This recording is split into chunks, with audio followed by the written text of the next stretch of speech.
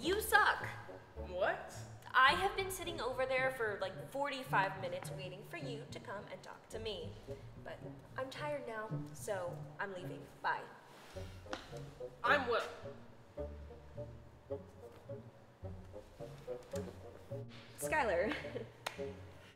By the way, that that guy is a jerk over there. What? Yeah, I kinda get that. well, um, I've got to go now.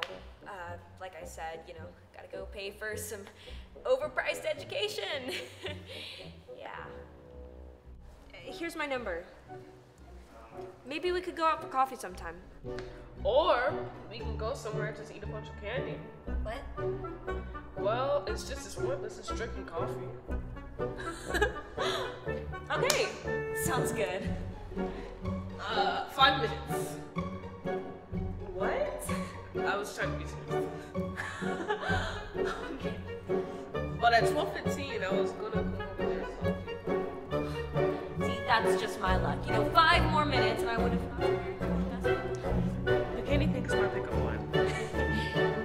I'm glad I came.